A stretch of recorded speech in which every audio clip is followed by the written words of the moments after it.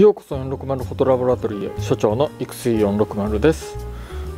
去年までは天体写真の活動についてはブログの方で公開していたのですが今年からは YouTube の方でやっていきたいと思います。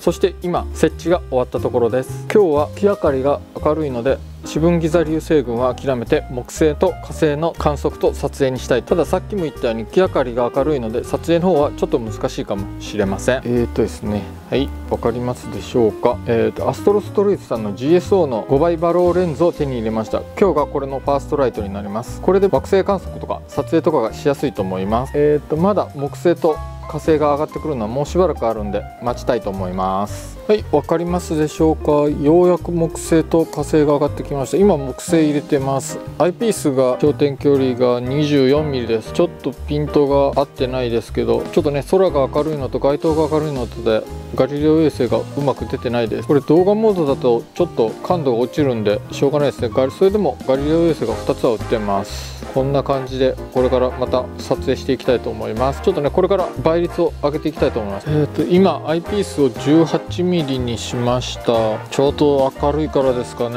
あんまり木星の島とかは出てないです。かろうじてこれでもうガリレオ衛星が2つ確認できるかな。もうちょっと倍率上げたいと思います。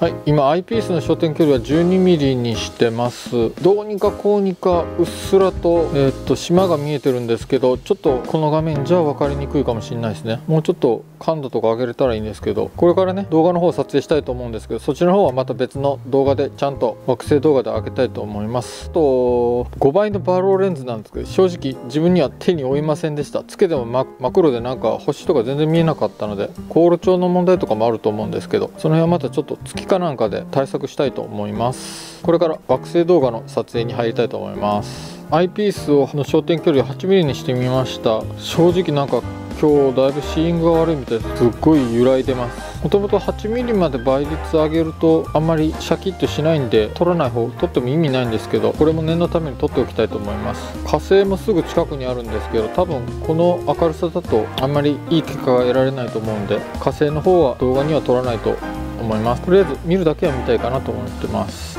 カメラの方をポールポッド3に載せてみました。これで揺れないと思います。最初からこうしときゃよかったな。木星動画の方は撮影は終わりました。今回から EOSM6 に変えたんですけどこっちの方がいいのかなと思います。条件が悪い割には IPS の焦点距離 8mm でも結構よく映ってるんでただピントが甘いですけどこの辺はちょっともともとそんな感じだったんでちょっとねその辺は条件のいい時で判断したいと思います。これから火星の方一応入れてみたいと思います。はい火星の方導入しました。ちょっとねセンターからずれてますけど微妙に極軸が合ってないらしくてずれるんでこんな状態にしてます。さすがにちょっとちっちゃいですよ。もうちょっとセンターに寄せてみましょうか。こんな感じです。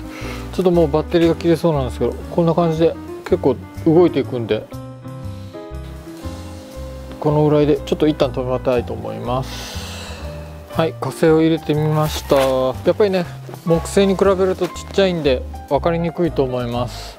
しかもこれで色がちょっと出てないですけど EOSM3 の方は結構赤く出てます。これからね使えるかどうか分かりませんが惑星の方の動画撮ってみたいと思います。えーとそれでなんですけど今回はやっぱり月が明るいのと街灯が明るいのとであんまりいい結果は得られませんでした。ちょっと残念ですね。もうちょっと赤道儀の設置場所をガレージ側に寄せれば結果が違ってたかもしれないです。どちらかというと昨日の方がね良かったのかもしれません。あとバロレンズが使えなかったのがちょっと悔しいですね。というわけで今回の動画はここまでにしたいと思います。最後までご視聴ありがとうございました。